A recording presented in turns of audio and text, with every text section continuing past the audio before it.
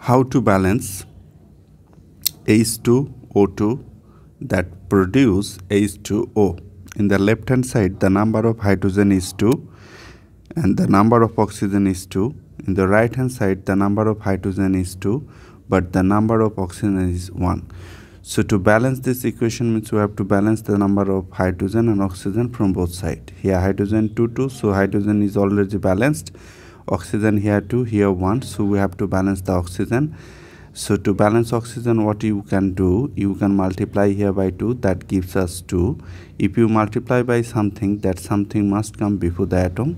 This oxygen has come from here so you have to place here 2 as a coefficient. This this is a subscript.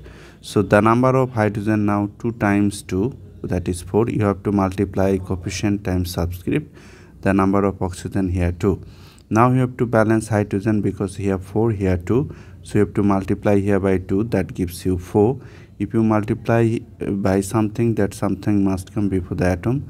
This hydrogen has come from here so you have to place here 2 so 4 hydrogen 4 hydrogen 2 oxygen 2 oxygen. So this is the balanced chemical equation. At last you have to use this arrow sign. Don't use equal sign